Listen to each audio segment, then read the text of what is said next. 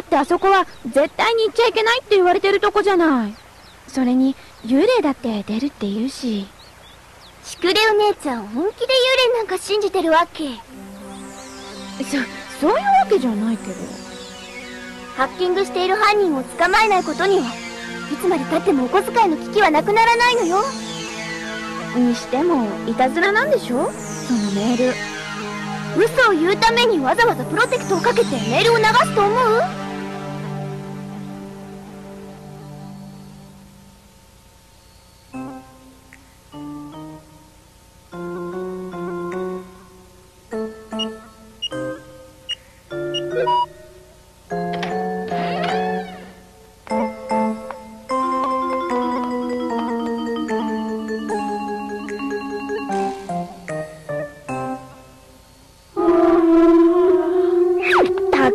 調子狂うなもう。なんで私までそんなところに行かなくちゃならないわけ？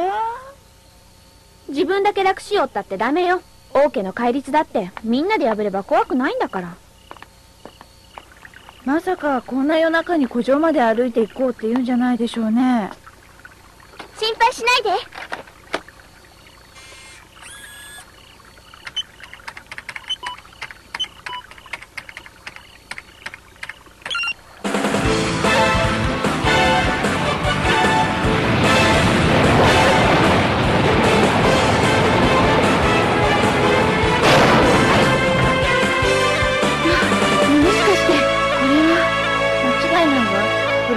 98しかも新型。どうしたのよこれ。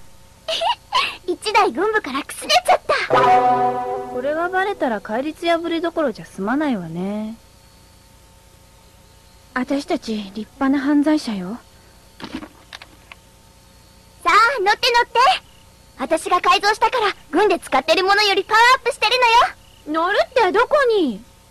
背中に椅子がついてるでしょかかっこ悪い。シートベルト忘れないでね。では出発!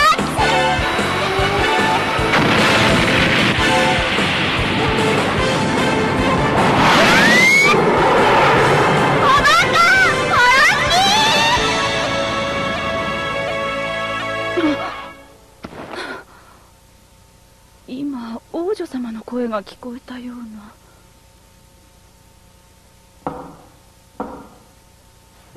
王女様マリアです。お休みのところ申し訳ありませんが。あら？王女様？王女様？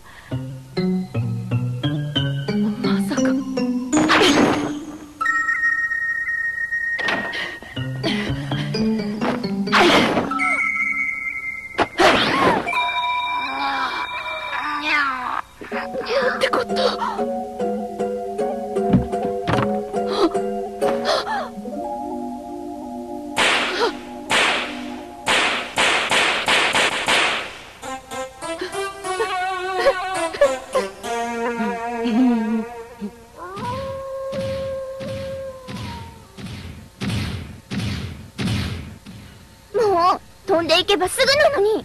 だったら横着しないで3人分のコックピットを作りなさいよ。そんなの構造上無理だもん。じゃあ最初からロボットなんかで。お尻が痛い。なんで私こんなことしてるのかしら。とかなんとか言っちゃってしっかりお弁当まで持ってきてるのは誰よ。こいつもこいつも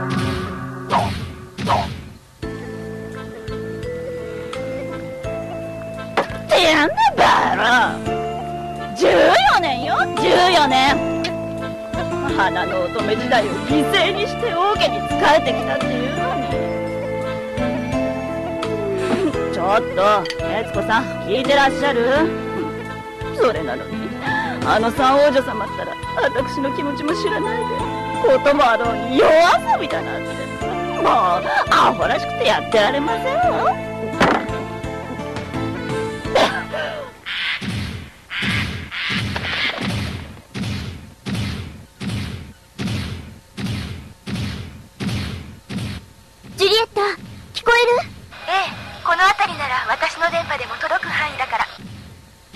よろあなたの正体を教えてくれてもいいんじゃない？いいことパルテ古城に入ったら王の間にある端末を起動させて。あの工場にコンピューターがあるの？あまり長く話していると逆探知されるわ。彼は私のすぐそばにいるの。彼ってハッキングの犯人のこと？また連絡を入れるわね。ジュリエットちょっと待って森の中にいる。え？レーダーには何も映ってないよ。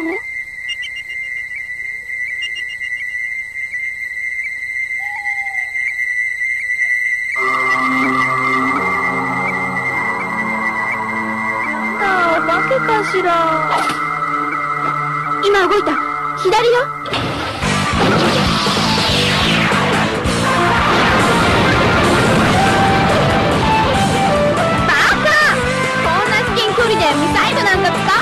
わないでよちっちうるさいな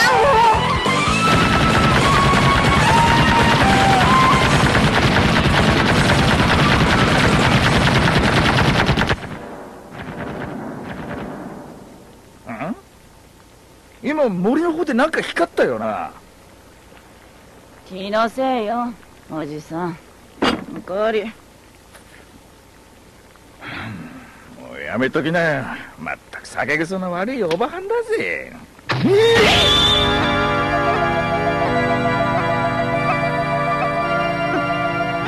お城の人間に逆らうと首をはねられるってご存知？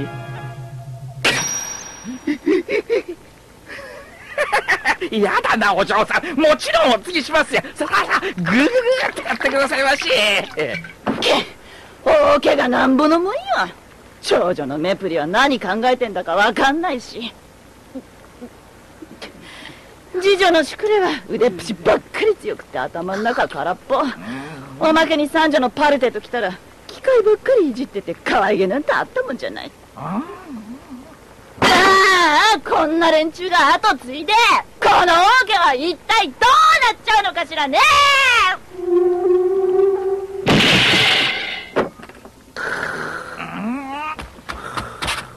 おい大丈夫かよ。ほらお客さん。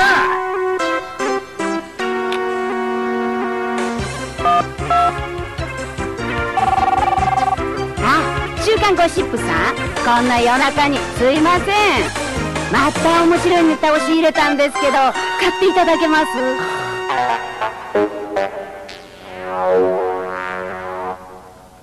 やってんのよ。この上自然破壊までやらかすつもり？だって怖かったんだもん。気をつけてパルテ彼はあなたたちに気づいているようだわ。ジュリエット。パルテパルテパルテジュリエット？どうしたの？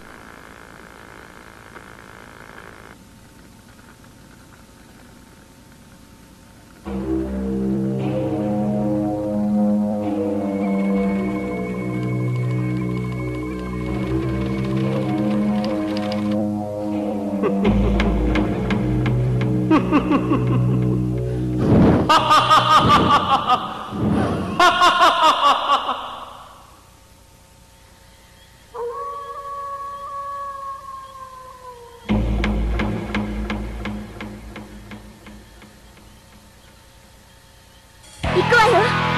姉ちゃんたち。オッケー。覚悟はとうに決めてんだからね。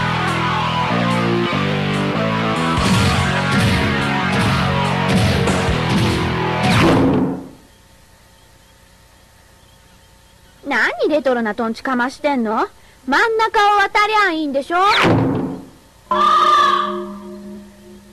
だって帰ろう。だったら橋も真ん中も渡んないわよ。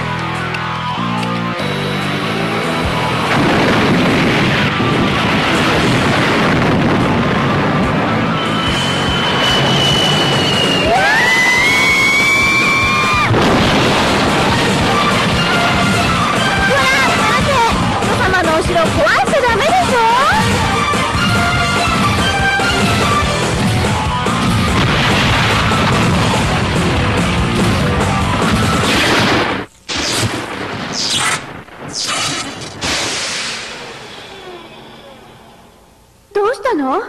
わかんない。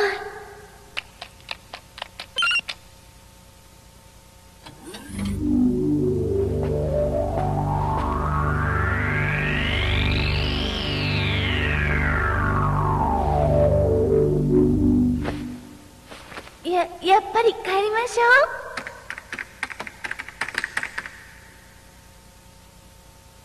う。パソコンも使えなくなってる。多分強力な電磁波が流れてるんだわ。幽霊の呪いとかじゃないの？えー、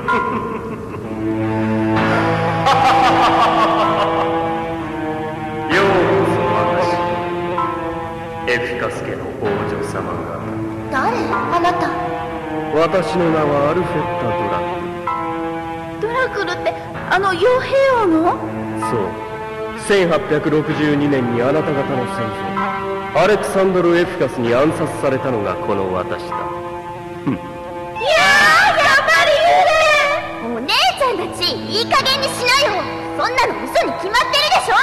第一ドラクルは病死だったんだから。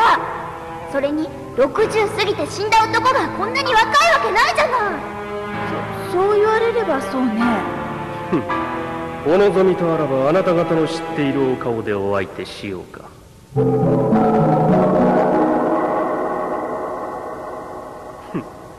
歴史など所詮はその国に都合のいいようにしか語られぬものだ。聞かせてやる。今のエフカス王国の成り立ちの真相。あれは星のない寒い晩のことだった。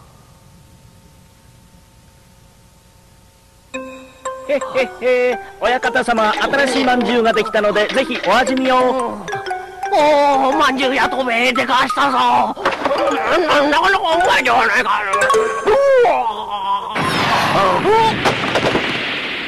どどうしたことだ。か体が動かんかかかったなトラクル今こそお前の年貢の納め時だ。お前はエビカスおのれ卑劣な真似を。あの時私は死の寸前に誓ったのだ。まんじゅうの借りはまんじゅうで返すと。古くより小豆はこの国の財源。つまりエフカス王国の特産品であるまんじゅうに手を加え売れなくしてしまえば財政は火の車となり王国の滅びるのも時間の問題。これぞ一石二鳥と言わず何と言おうバーカ。やい。今時小豆なんかで国の財政が賄えると思うの？ねえ。おまんじゅうの売り上げなんか私たちのお小遣いにしかならないのに。ねえ。どうせなら銀行にハックした方が手っ取り早かったんじゃない？ねお己らは犬畜生か悪いことしたらごめんなさいって言いましょうって学校の先生に教わらなかったか。そんな千年以上も前のこと今さら言われてもさ。私たちに関係ないもん。ねなんという根性のひね曲がった娘どもだ。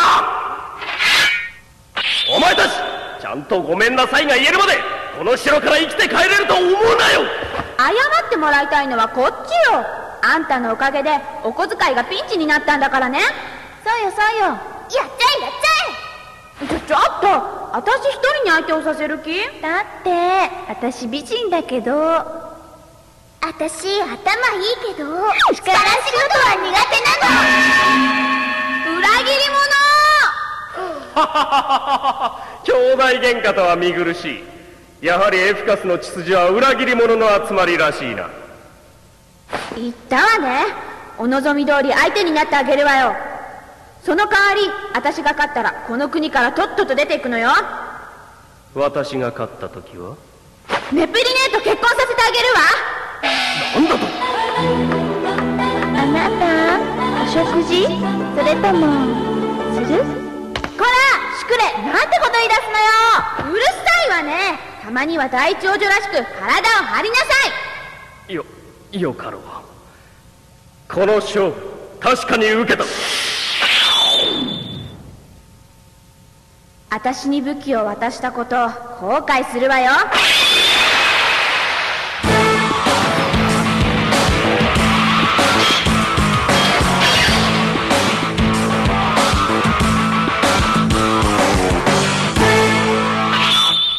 イルミネーションアーム！シクレお姉ちゃん持ってきてたんだなのあれ？パルテの作ったこのイルミネーションアーマーはシクレのバカ力を10万倍にパワーアップすることができるのであった。まあバカが10万倍にそれにしても仰々しい格好ね。シクレお姉ちゃんヒーローオタクだから。ガイアうるさ行くぞ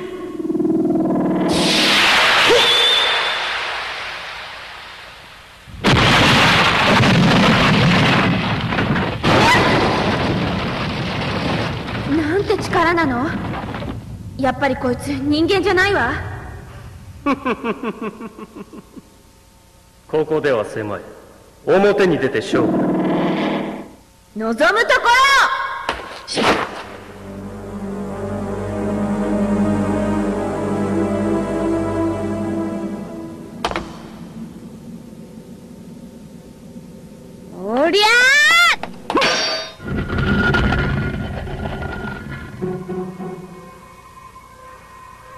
こんな古城にコンピューターが。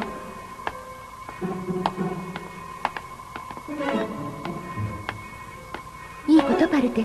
古城に入ったら王の間にある端末を作動させて。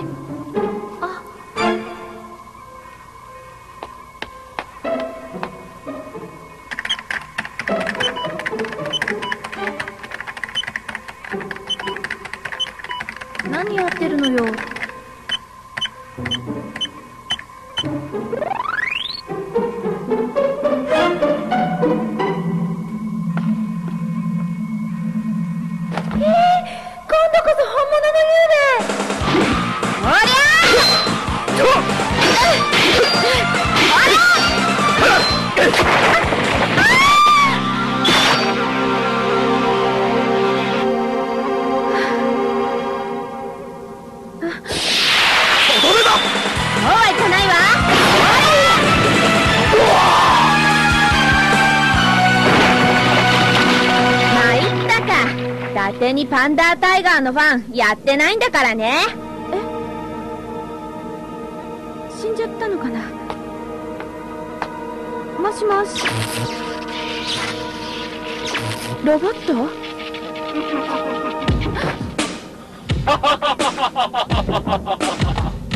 勝負はこれからですよ。王女様。コンピューターに発生したバグが意志を持って増殖しました私はアルフェッタと共に生まれたもう一つの人格なのです。というと？二重人格コンピュータそんなだって私たちと同じ人間の格好をしてるじゃない。私のこの姿は内蔵されたソフトウェアによってあなた方の五感にアクセスしているだけで実体はありません。でもアルフェッタは現実にシュクレと戦っているのはアルフェッタの擬態として作られたロボットです。それに私と同じホログラフをかぶせているに過ぎません。ーまさにバーチャルリアリティね。信じられない。私をメモリー内に閉じ込めメインコンピューターを支配したアルフェッタはこの城にさまようドラクルの魂に操られ暴走しています。一刻も早く彼を止めないとエリカス国中に災いをそんなの反則よクレお姉ちゃんアルフェッタが増えてるもう温まったシュクレ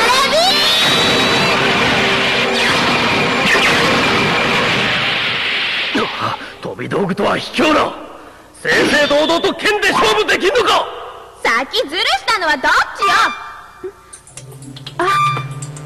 まずい。カラータイマーが点滅を始めたわ何なの？あれ。あのアーマーのエネルギーはシクレお姉ちゃんの体力に比例しているの。もしあのタイマーが消えてしまったら。どうなるの？シクレお姉ちゃんは二度と立ち上がる力を失ってしまうわ。え？ね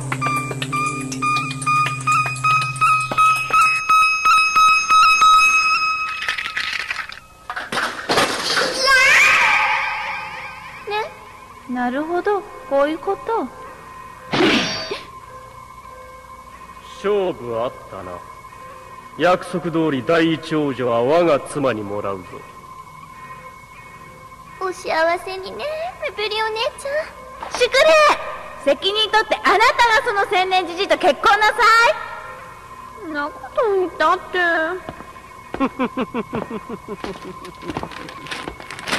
そうああの私今ハンコ持ってきてないから。まあまあご用意ないこと。誰か助けておやめなさいアルフェッタ。ジュリエット。なるほど。そこのおせっかいな王女様が解放してくれたってわけか。もう遊びの時間は終わりよ。何よりこれで第一王女を妻にめとりメインランドの王として再び君臨できるというのに私がそんなこと許さないわ。お前のごときちっぽけな端末に何ができる？あらそうかしら。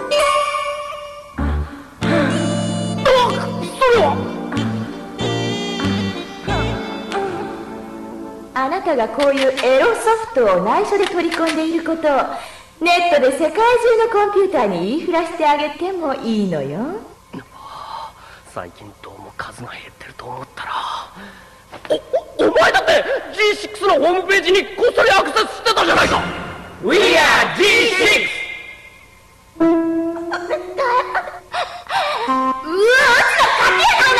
年を考える年を私が親なら恥ずかしくて首をくくってるぞ首を言うたなあ私のアリサちゃんになんてこと。をアリサちゃんやアホちゃうかこれやからうちドスブ以外の人は嫌やっちゅうねやうちにリンゴマークつける言うんやろか。ああもう考えただけで寒いも立つわとてもコンピューター同士の会話とは思えないわ。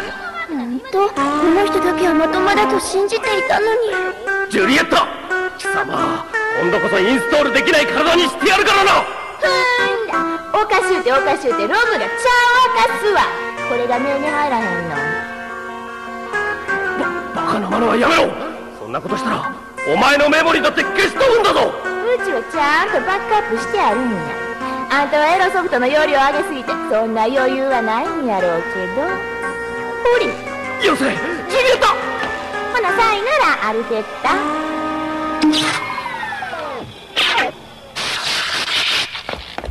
アリサちゃん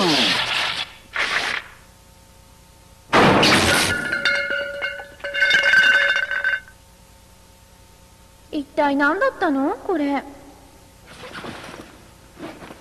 幽霊の正体はコンピューターでもさ誰がこのコンピューターを作ったのそれにこれ市販のものじゃないよじゃあやっぱり幽霊がコンピューターを作ってなんだか不思議な朝ね。あやってマリアが起きちゃうよ急いで後ろに帰らなきゃ。そうよそうよ乙女つくな感想にしちゃってる場合じゃないわ。お姉ちゃんたちしっかり捕まって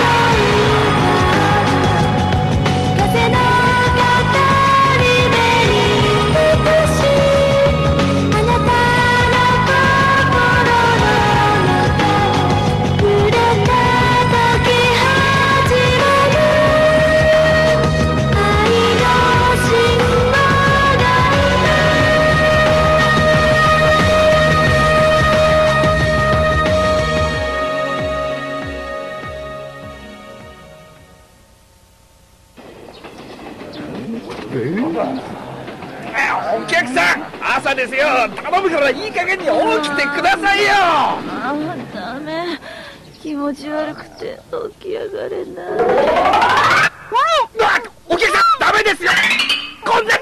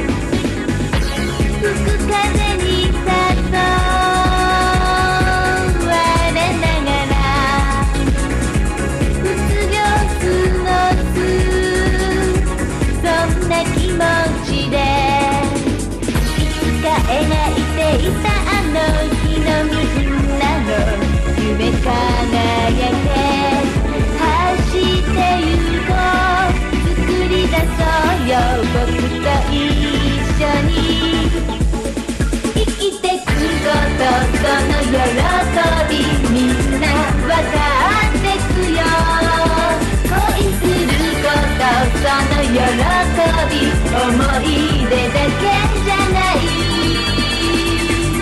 慰むだけの気持ちじゃ。まり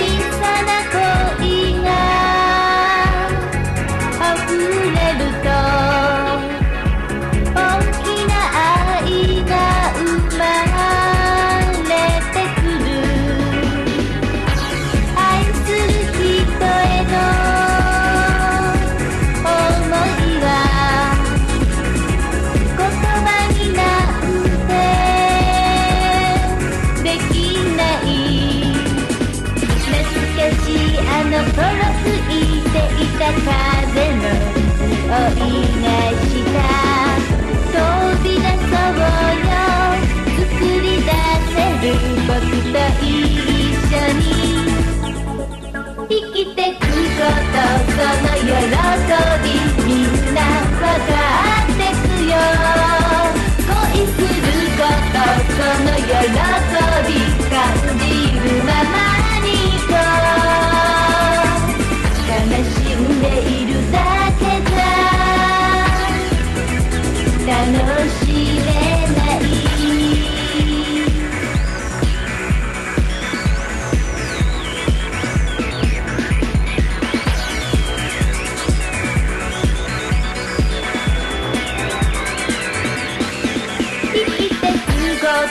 の喜びみんな知ってるはず。その喜びも悲しみも全てあなたのもの。優しくなる強くなれる。そんな